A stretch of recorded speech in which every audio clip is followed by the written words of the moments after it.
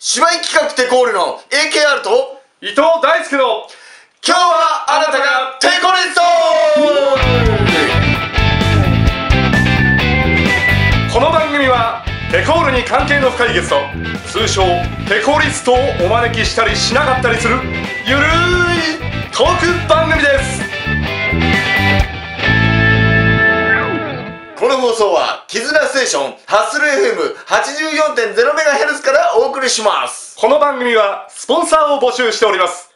宛先は info.tecall.net info.tecall.net info.tecall.net でお待ちしております。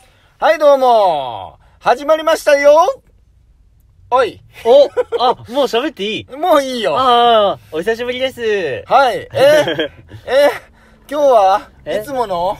人じゃないの？あちょっと顔濃くなりましたね。あ、どうはも、お久しぶりでい。す。久しぶりです。じゃあ、じゃあ、今日はあれだね。あの、はいスッと自己紹介入っちゃいますか。はい。はい。えー、芝居企画テコールのメインパーソナリティ、AKR と、上岡健二です。いや、お久しぶりお久しぶりです。え、俺いつぶり？もう多分に、え、20回ぐらいは、じゃあもう、そんな出てないんだ。多分、それぐらいじゃないかな。なんかだ、、最後、はいあれだよね、多分、ひなご会とか、そうだそうだそうだ。ぐらいだよねバーテコ終わった後去年のだから7月、8月分の時に、ケンちゃん。ああ、あとはあれでしょ。年始の放送の時にあちょっと喋ったぐらいでしょ。そうだね。あ、だからあれも全カットされてるから。あ あ、でしょうね。大丈夫、お久しぶりでございおます。久しぶりです。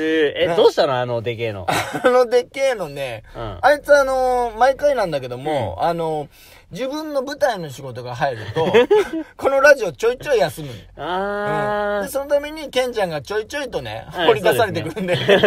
まあまあ、そんなんでね。はいうんまあまあ、そういうのも込みで、ちょっと久しぶりにケンちゃんとも。ー。はい。えー、そして、なんと、なんと、えーっとね、もう言っちゃおうかな。はいうん。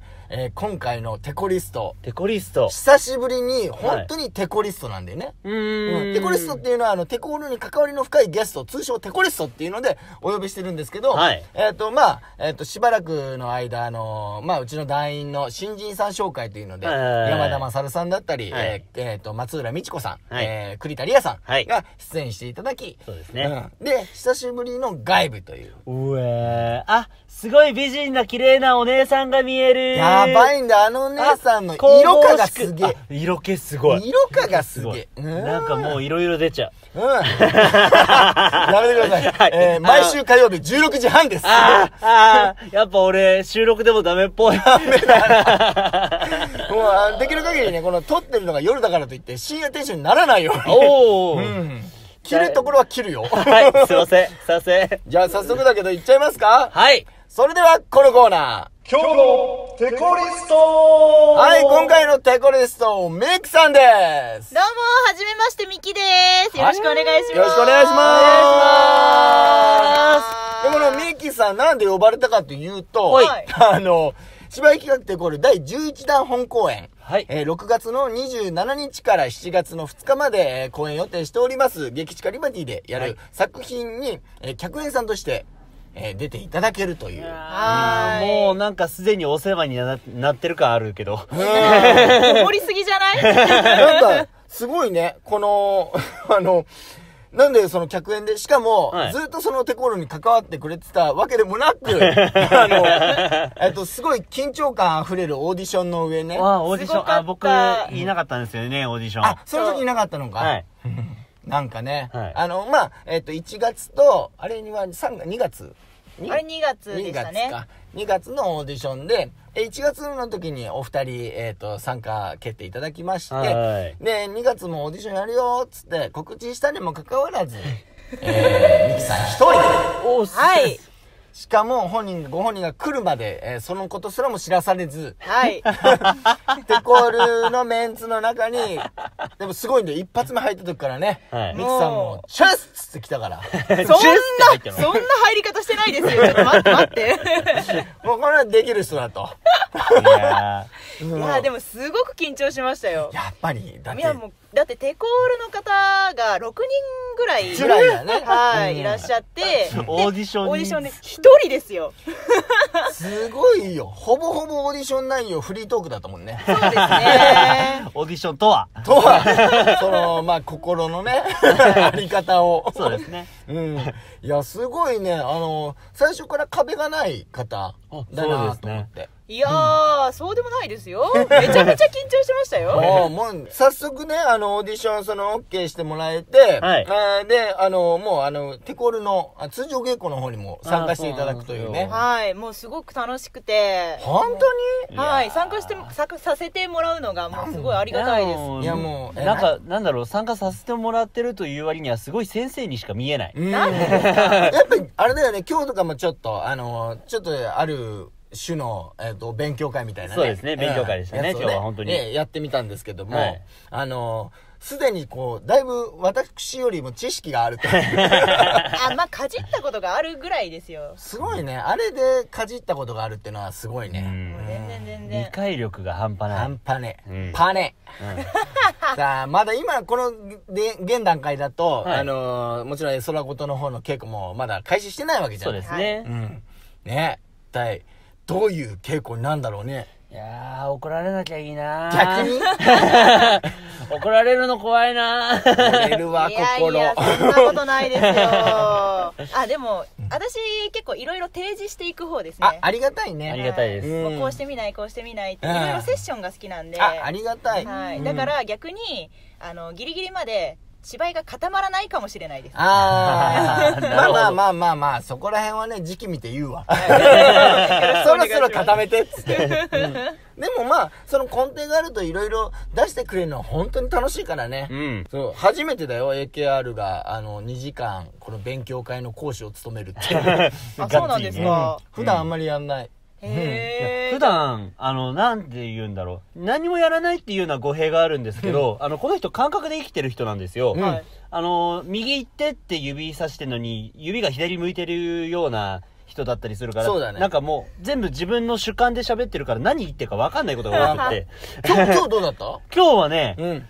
ちょっと分かんなかった だいぶ頑張ったんだけどな だいぶしっかりノート取ってね。そうですん、やってたんだけどな、はいそうか。いやでもありがたかったです、今日の授業ありがとう。むむ。あこいつちょろいぞ、うんすぐ気持ちよくなっちゃう。じゃあもう稽古中もおだててあげてそうだねいけばいいんで。すねだからもう、うん、全部いいよ、全部いいよ、つって。本番開けてみたらクソみたいな芝居 ダメだよ、AQR はもう枯れたなってスタッフ界隈からすっげえ言われてんだから、今。口開きゃ枯れたな、枯れたな、つって言われる。かわいそうだな。もっとね、俺は褒められて伸びるタイプだからね。アキラかっこいいよ。あ、そういうのはいいや。違ったうん、あの、見てくれにそんなに興味ないんだよ。内面内面内面。内面を。でも、そうだね、み、あの、かっこいいで思い出したけども、はい。ニキちゃんがさ、割と普通にかっこよくね？い。やかっこいいっすよ、うん。かっこいいですか、かっこいいですあのよ、渋系おっさんが入ってるのが好き。わかるわかるわかる、うん。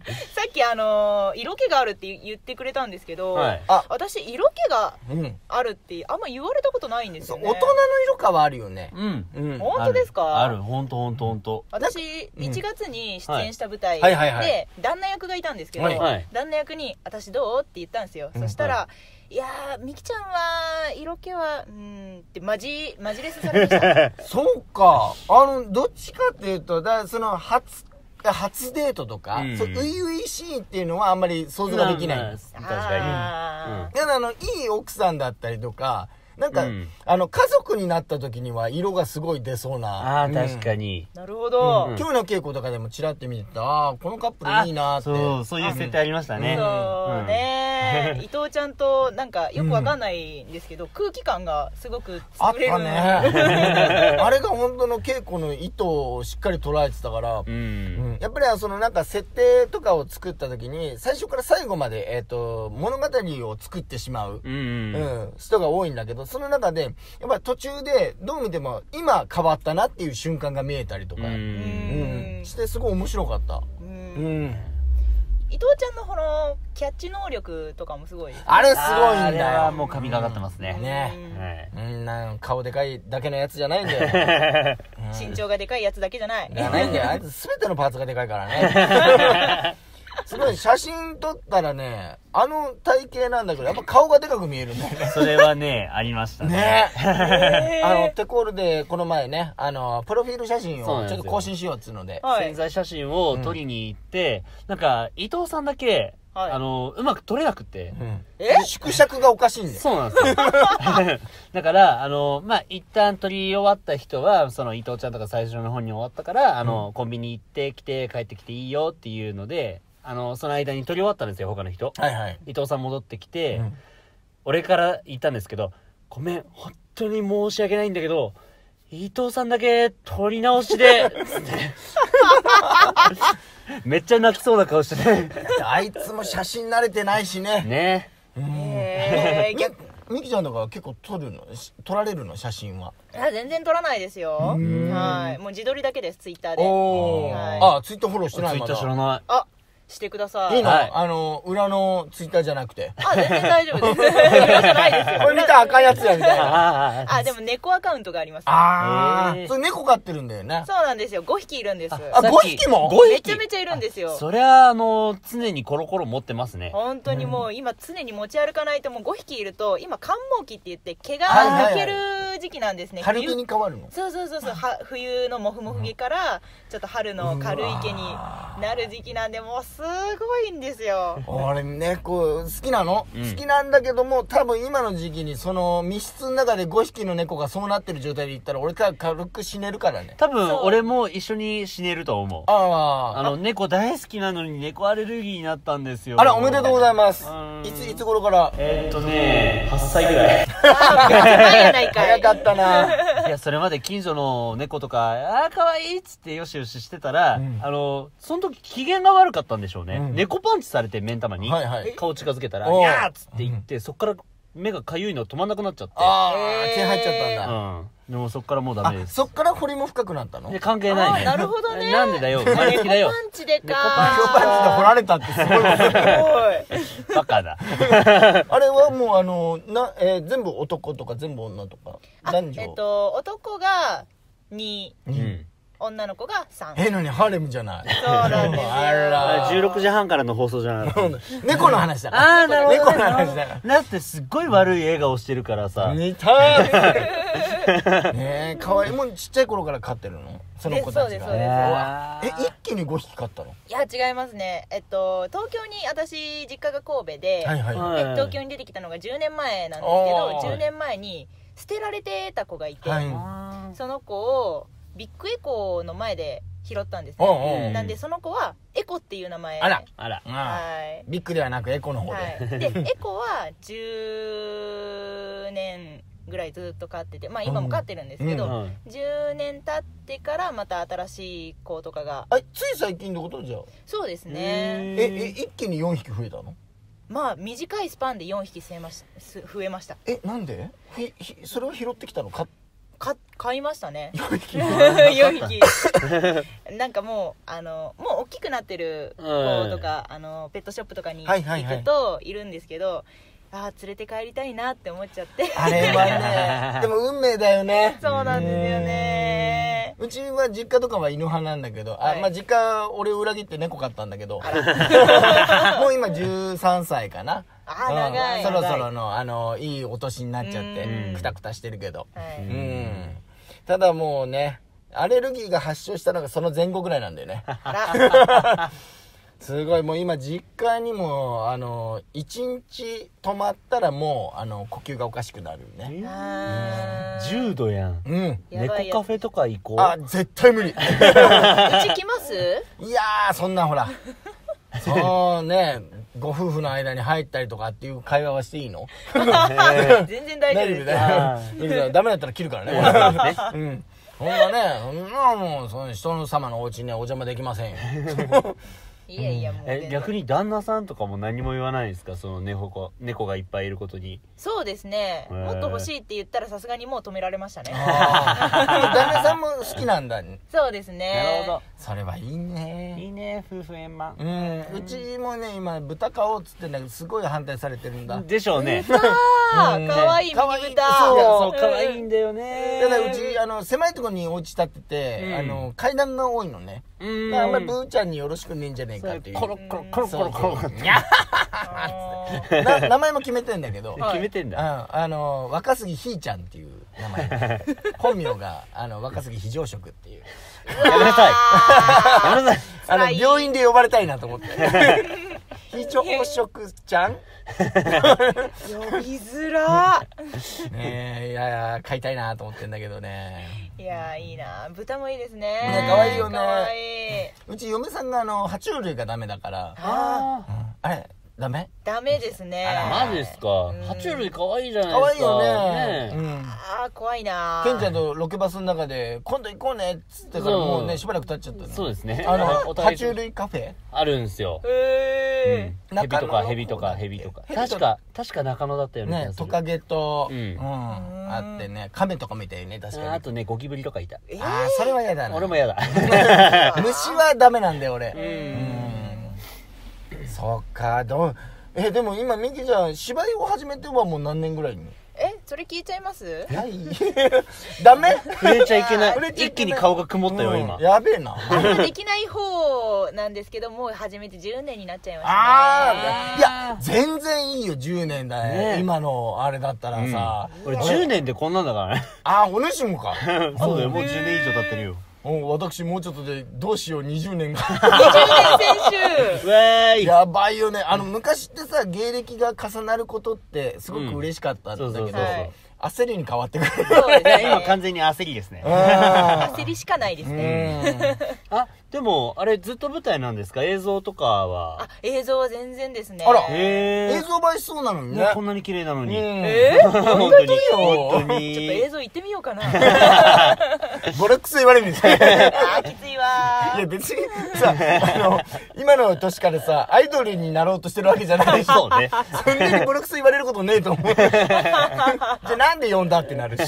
そうですね。呼んでないのになんで来たってなっちゃうでもあれでしょあのオーディションの日にちょっとお話ししたんだけどもアクションの方とかもあーやられてる習ってたりとか。そうですね。でもまだ4回目ですね行き始めて。ああ数える程度だそうなんですよ。まだ始めたばっかりなんで。でも飲み込み早いんだろういやもう昨日行ってきたんですけどあはい。泣いちゃいましたできなくて。え 結構負けず嫌い？そうですね。悔しくて。何何の技？技っていうかまああんまり経験がないんで、はいはい。こういう動きをしてこういう動きをしてっていうのができない上に、うん。あのやっぱお芝居をメインであ教えてくれるアクションのああいい教ね室なんでいいね。ね。リアクションをもっとややってって言われると、はい。こう動きも自分の整理に合ってないのにあ。あのリアクションって言われてもちょっと困っちゃうんですよね、どうどうしたらええねんと。そうですね、なるほどね。ね気持ちはすごいわかるわ。私ね今こんなぽっちゃりしてるけどね元はアクション畑の人間でございますからね。そうですね。うん、15歳の頃からもう今もう痩せてる姿誰も知らないよ。あそうついに来たねその時代がね。あのいつも、えー、とお世話になってたそのテコール、えー立ち上げてからお世話になってたサングマスのトランスミッションさんはい。はいのオーナーさんと仲がよくしてもらってて、はい。はいうん、で徐々に太っていく僕を見てるわけですよ。で最初の方は「アギラ君そろそろ痩せないと」つうことをずっと言ってたんだけど、はい。月日が流れて当時痩せてることを知ってるメンバーが徐々にいなくなってくるわけだよね。はい。そしたら逆にこの演出としてはこうちょっと貫禄があった方がね話しやすいじゃない。あーまあまあまあ。まあ、と胸を伝えたらじゃあもうもっと太った方がいいんじゃないかっつって言われ 許さないぞ。もう今無駄に貫禄だけ見た目の貫禄だけはねついてきたんだけそうか？どもう後ろ姿とかただのおっさんだよ。そうだうねん。あのだ23年前まではあの動けるデブだったんですけど今動けないデブになってるから。そうだね。まだ23年前まだギリギリバク転できたもん。そうそうそう。すごー一日に1回。そうあのね関節のあの体重かかる負荷がねすごいんだ。ドッスンっていうはいあれになっちゃうから。あの、みんなが思い描くような、あの、シュンってできるんじゃなくて、ドッセーンっつって、なんか音が鳴ってから。あ、でもできたんだ、すごい。そう、あれは体に悪い。うんそのうちみきちゃんも、あれじゃない？アクロバット系とかも教えてくれるの？いやまあそこまでは行ってないんですけど。まあそのうちまあそのうちですかね。はい。できたらいいな。いやー、あのー、あの、僕戦う女性大好きなんで、ちゃんと習得したミキさん見たら多分惚れますね。いや、かっこいいと思うよ。ね、スラッとしてるしね。ね。お？うん身長だって低くないでしょ？あ ?100。61ですねおおやっぱ60代女性であると高く見えるね。ね。うん。そうです、うん、全然、なんか俺勝手に同じぐらいだと思ってたの。えっと、ケンジャー100、え、140。なんでだよ。なんでだよ。ミニマムだな172だよ。おおあ俺より高いんだ。え？俺170だもん。たおうんお多分あなたあれじゃない、お肉のせいじゃないかな。今、多分肉でもう、あれかな、1センチくらい背高くなっ冷ましてる。る。冷ましてる。冷まされてる。嬉しくねえ。足の底の肉がね。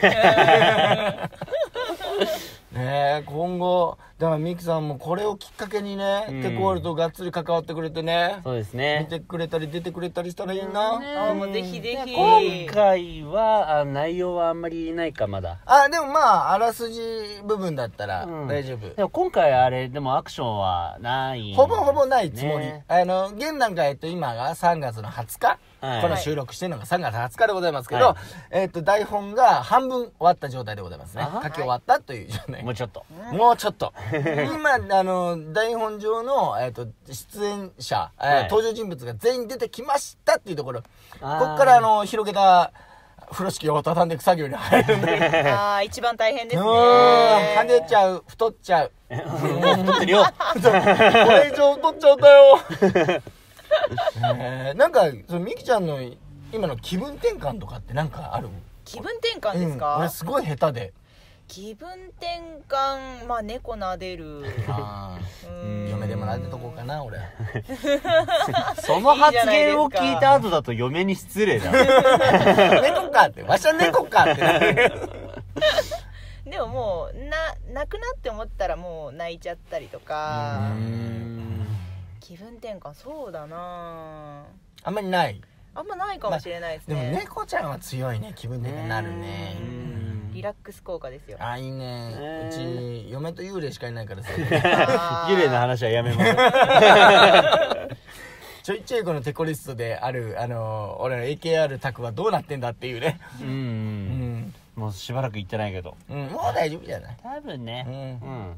ちょっと、ちょっとなんか遠目からって見られるぐらいだから。賢者もあの割とそういう見える方なんだよね。おー。ねうちはまあ何人かいらっしゃるからそういう方が、あのたまにトイレとか行くとあのアピールしてくるらしく。でも俺もうトイレ一人じゃ行けない、アキラの家。あんな家庭用のトイレで2人で入りたくないし。ねそうですね。いつも走って行って走って戻るもん。えーたまに賢者が入ってるけど後ろの壁をダバーンって叩いてやる。あめっちゃ怒る。そんな楽しい我が家でございます。ーすごいですまあねいつか飲みに来てください。あぜひ。遠いよ。みっちゃん大丈夫なんだよねそういうの。何がですそういうかお酒？えっ、とお酒じゃ半透明の方々とか。あ感じない。あへそれは強い、うん、なんだろうね。うちの嫁とみきちゃんのあのなんだ？似てるところを見ると、二人とも眼鏡をかけてると大丈夫なのかな？そこなの？じゃあ俺メガネかけたい。じゃあ俺もかけようかな それで治るんだったら苦労しねえわ。漫画でありがちな設定ですけどね 確かに。えー眼鏡を取ると意外と美人っつって あ何の設定？だよだよ、メガネかけてもミキさん美人だから。美人だよあありがとうございますもう主に眼鏡だよ主にメガネ。そんなんだよメガネが9割ぐらいなんですげえなどううちの他のメンバーとかもあの今のところ壁はないああもう話しやすい方ばっかりですね。よかった。うーん、よなんかかった。なんかもう逆に私の方が失礼なぐらいめっちゃグイグイ。いやぐいぐいいかんとうちのメンバーねあのパッと見コミュニケーションが強そうだけど割とみんなコミュ障だから。ねそうね。うん。本当ですか？いや、だって俺もこんな、なんかいろいろ言ったり喋ったりするけど、結構コミュ障だからね。えうん バンバンいっちゃってください。えやべえみきちゃんのこのオーラだったら大丈夫でしょ。大丈夫だよ、うん。いやでもオーディションの時の空気感ってすごくなかったです。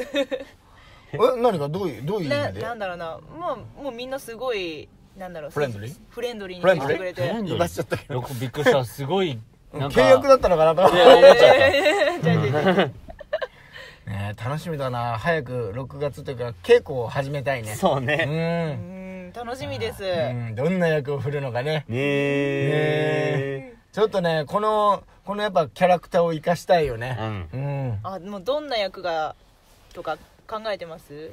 今ねあのー、だうんある程度あるんだけど今ちょっと言えないんだよ。まだ言えないんだけど、うん、ある程度予想はつけてるところはある。うんうん。うんねどんなになるのか。ねまあとりあえず美人なお姉さんなのはか間違いないでしょそうだね、うん。ありがとうございます。ぜ 劇場で確認をねそうですね。してほしいね。あのどんだけ僕らが美人美人って言ってるのか劇場で確認をしてください。うん。よろしくお願いします。はいじゃあここら辺で締めますか？そうですね。はいじゃあ本日のゲストみきちゃんでした。あありがとうございました。りがとうございました。